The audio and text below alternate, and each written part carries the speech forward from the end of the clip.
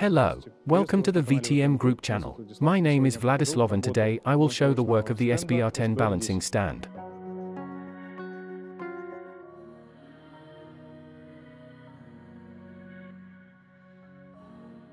SBR10 is designed for finishing balancing the turbocharger at operating speeds. The stand simulates the same conditions during the operation of the turbo as in the engine, so this guarantees high-quality repairs. However, you need to understand that this is not a classic balancing stand, not two-plane balancing.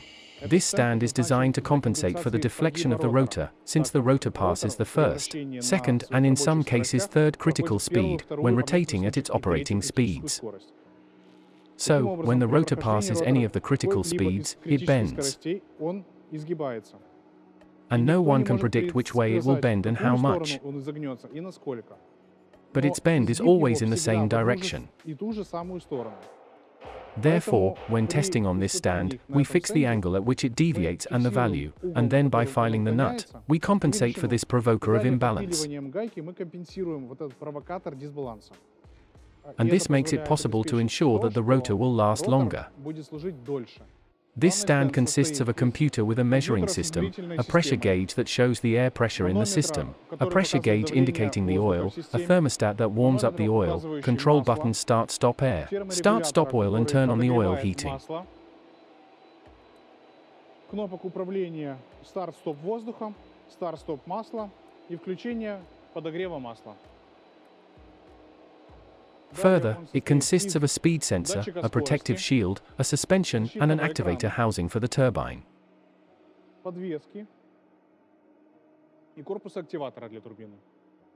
Also, each stand has an individual magnetizer. At the bottom of the stand there is an oil pressure adjustment, as well as an oil station. To begin with, the turbocharger must be installed on a stand. We are doing this.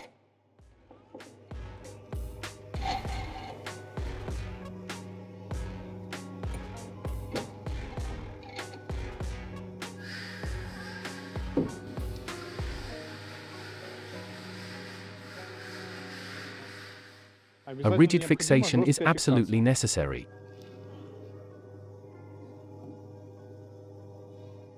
Connect the pressure, oil pressure hose.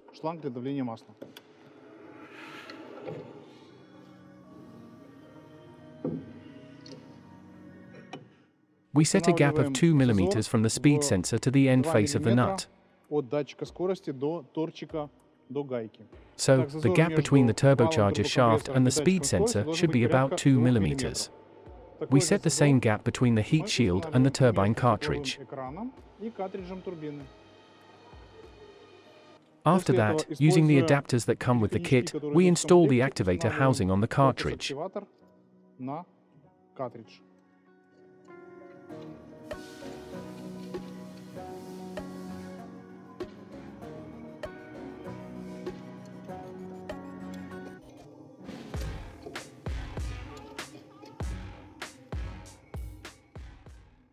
When everything is installed, we check whether we have mashing anywhere. After installation, we take the magnetizer. He has a clear positioning. Here we have this inscription up and move according to the arrow.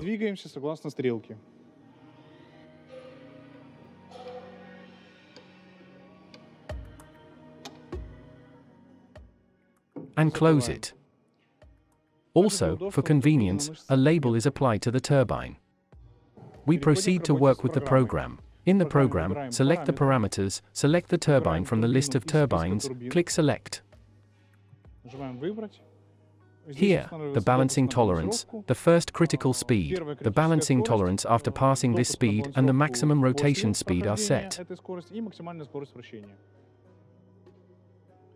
Next, click the Send Data button and start the air. First, start the oil. We control the pressure. The pressure should be within 3 to 4 kilograms.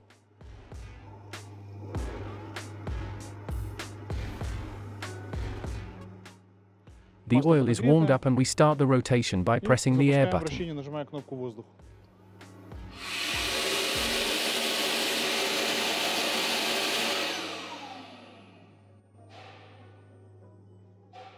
Then we had a measurement cycle. We see a blue graph and a red graph, also a green tolerance field.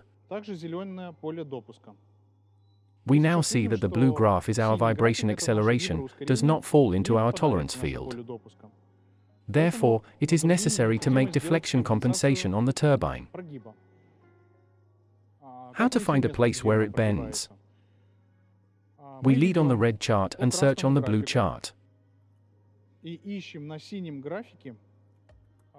This is our first peak and the second peak. We are looking for the first third of the rise at the second peak, that is, starting from this point and ending with this point. And somewhere right here we will have our provocateur of imbalance. Now the angle shows the right arrow vector. We see that the imbalance vector is on the right. Next, we open our protection. Next, a label is installed on the turbocharger. We put this label vertically up and our imbalance will be right here on the right, our provoker of deflection. Next, we cut it down with the help of a file or a Dremel, we eliminate it.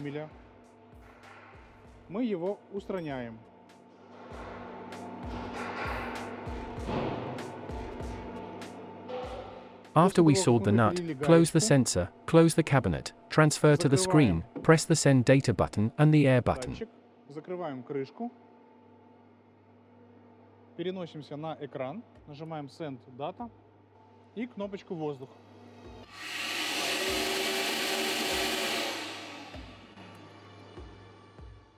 Next, we see that our imbalance is well below the tolerance field, that is, the correction was made То есть correctly. So, a set of accessories goes to the machine. It includes a bar for installing a turbine, remote rings, a magnetizer, a stop, adapters for connecting oil,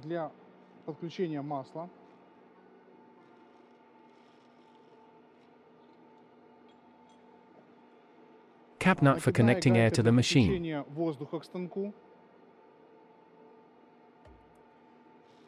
More fittings for oil supply. Next comes the adapter for the lower oil supply and oil removal. There are several of them. Next, again, an adapter for the lower oil supply and oil outflow.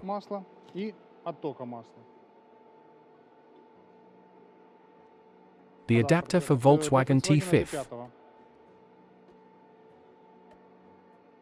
Universal adapter for oil supply and a sealing washer to it. There is also a spare heat shield for large turbo type sizes. Adapter with left and right rotation and a set of rings to it.